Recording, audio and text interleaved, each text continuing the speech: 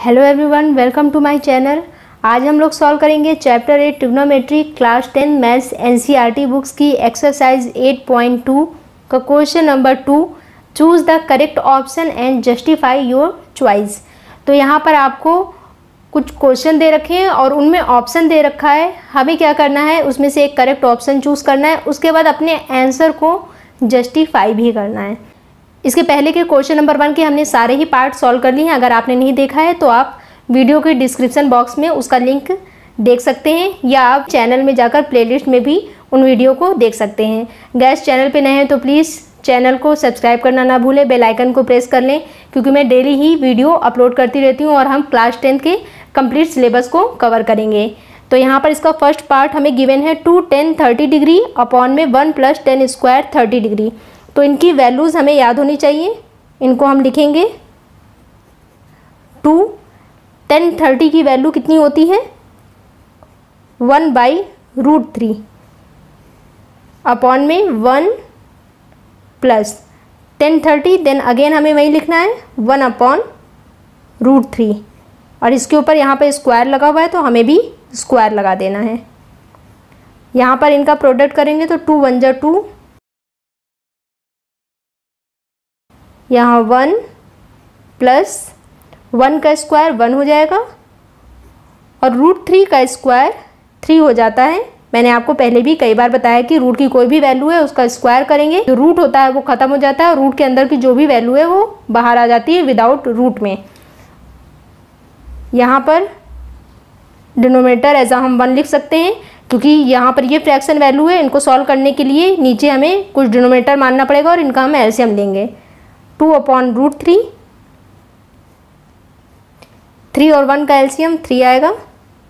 One से three divide करने पे थ्री टाइम्स आएगा मीन्स ऊपर थ्री का मल्टीप्लाई। थ्री वन जा थ्री प्लस। थ्री से थ्री वन टाइम्स ऊपर वन का multiply, one. Two root three. Three में वन ऐड करेंगे, फोर फोर बाई थ्री। ये चार पार्ट में हो गए ये यहाँ प्रोडक्ट में जाएगा और ये यहाँ पे प्रोडक्ट में जाएगा। Two multiply three by root three multiply four two से ये कैंसिल हो सकता है, टू वन ज़ा टू टू टू ज़ा four three upon root three और प्रोडक्ट में टू है। जैसा कि हम जानते हैं कि हमें आंसर में कभी भी नीचे रूट में वैल्यू नहीं छोड़नी होती है तो हम उसको रेशनलाइज करते हैं। तो रेशनलाइज के लिए क्या करते हैं कि जो भी नीचे रूट में वैल्यू है, उसको ऊपर नीचे हम मल्टीप्लाई में लिख लेते हैं। और दो टर्म होते थे तो बीच वाले साइन को हम चेंज करके लिखते थे। सपोज़ अगर यहाँ पर लिखा होता root two plus root six तो ऊपर नीचे क्या हमें मल्टीप्लाई करना होता था? Root two minus root six multiply करते थे। यहाँ पर एक ही प्रोडक्ट है तो आपको क्या करना है कि ऊपर नीचे रूट थ्री का मल्टीप्लाई करना है, या आप इसको एक तरीका और है, ऐसे भी कर सकते हैं। पहले आप फ़र्स्ट वाला तरीका देख लीजिए, जैसा हम यूज़ करते हैं रेशनलाइजेशन में। यहाँ पे हमने टू रूट थ्री लिखा और हमने प्रोडक्ट किया किसका? रूट थ्री का ऊपर नीचे प्रोडक्ट कर लिया। देन यहाँ से कितना आ जाएगा ये? थ्री रूट थ्री आ जाएगा। और टू है रूट थ्री का मल्टीप्लाई रूट थ्री से करने पे कितना आएगा? थ्री आएगा। इस थ्री से इस थ्री को हम कैंसिल कर लेंगे। कितनी वैल्यू आ गई? रूट थ्री बाई टू आ गए अब हम देख रहे हैं कि इन सारे ऑप्शन में रूट थ्री बाई टू किसकी वैल्यू है? साइंस सिक्सटी की वैल्यू होती है। Option A is correct. इन्होंने कहा जस्टिफाई करिए अपने आंसर को। तो हम यहाँ पे लिखेंगे because sine sixty degree is equal to root three by two तो इस तरह से आपको इस टाइप के क्वेश्चन को सॉल्व करना है।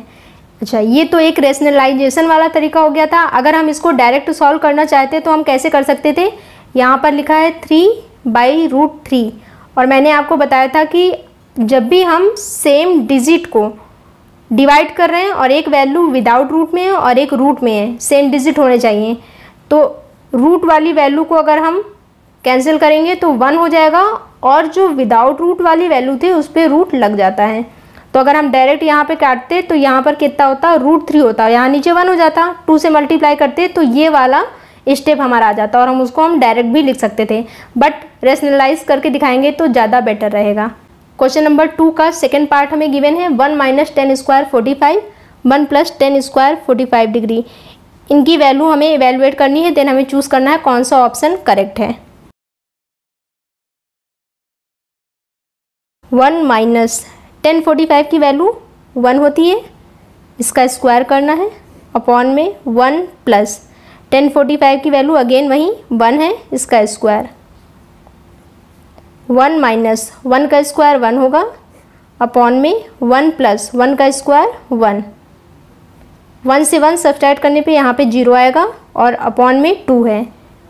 जब भी ऊपर क्या होगा, ज़ीरो होगा और नीचे कोई भी नंबर है आपके पास नॉन ज़ीरो नंबर तो हमेशा क्या होता है, ज़ीरो ही होता है। तो यहाँ पर ज़ीरो आ गया और देख रहे हैं, हमारा ऑप्शन कौन सा करेक्ट है? ये करेक्ट है। तो आपको लिखना है, ऑप्शन डी इज़ करेक्ट और यहाँ पर आपको कुछ भी जस्टिफाई नहीं करना है, क्योंकि ये डायरेक्ट हमने जब सॉल्व किया है तो ये ऑप्शन सही आ रहा है। पूरा हम सॉल्व करते हुए आ रहे हैं इसको।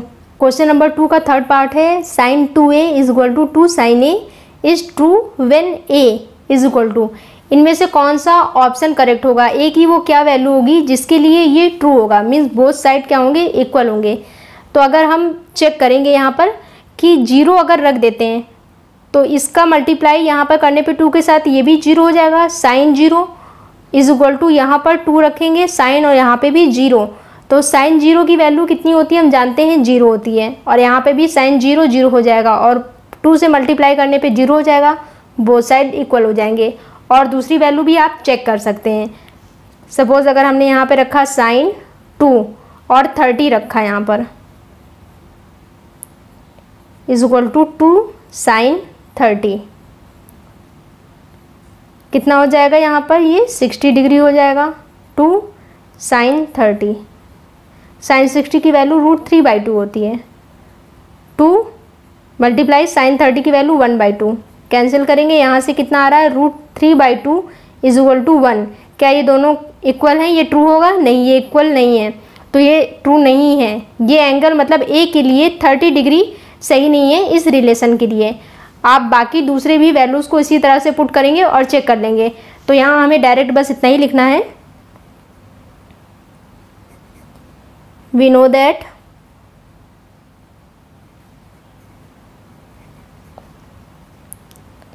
sine zero degree is equal to zero होता है। Then option A is correct देखते हैं इसका fourth part two tan thirty degree upon one minus tan square thirty degree इनमें से कौन सा ऑप्शन करेक्ट है? तो वैल्यूज़ हम पुट करना स्टार्ट करेंगे. टू टेन थर्टी की वैल्यू कितनी होती है? One by root three upon में वन माइनस टेन थर्टी की वैल्यू अगेन वही वन अपॉन रूट थ्री और इसका स्क्वायर करना है क्योंकि यहाँ पे स्क्वायर लगा हुआ है. मल्टीप्लाई करेंगे टू वन जा two by root three upon में वन माइनस वन का स्क्वायर वन हो जाएगा। रूट थ्री का स्क्वायर थ्री हो जाएगा। यहाँ डिनोमिनेटर एज आ वन ले लेंगे। इसे हम फर्दर सॉल्व करेंगे। Two root three two by root three upon में एलसीएम लेंगे थ्री आ जाएगा। थ्री और वन का एलसीएम थ्री वन से थ्री थ्री टाइम्स जाएगा। ऊपर थ्री का मल्टीप्लाई थ्री से थ्री वन टाइम्स तो ऊपर वन का मल्टीप्लाई वन वन जा one two by root three यहाँ थ्री में से वन सब्सट्रैक्ट करेंगे तो टू आएगा और अपॉन में थ्री हम जानते हैं कि ये वाला टर्म यहाँ पर प्रोडक्ट में जाता है और ये वाला यहाँ प्रोडक्ट में जाता है तो इसको हम लिखेंगे टू ये यहाँ प्रोडक्ट में आया. रूट थ्री मल्टीप्लाई में टू लिखेंगे. यहाँ से ये कैंसिल हो जाएँगे. Three by root three. Answer इस तरह से हमें नहीं छोड़ना है।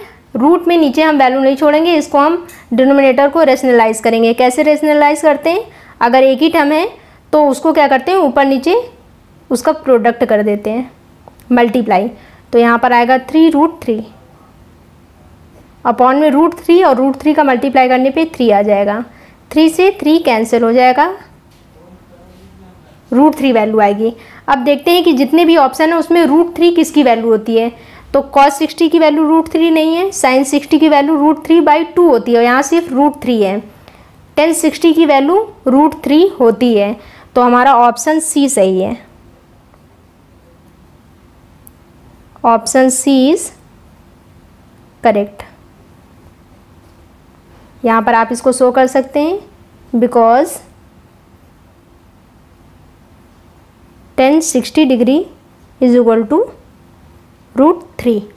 Complete होते हैं आपके एक्सरसाइज 8.2 के, क्वेश्चन नंबर टू के सभी पार्ट। वीडियो अच्छा लगा हो तो लाइक कीजिएगा, शेयर कीजिएगा।